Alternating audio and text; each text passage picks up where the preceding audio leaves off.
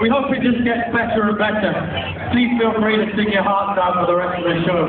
This is a song with nothing in my way.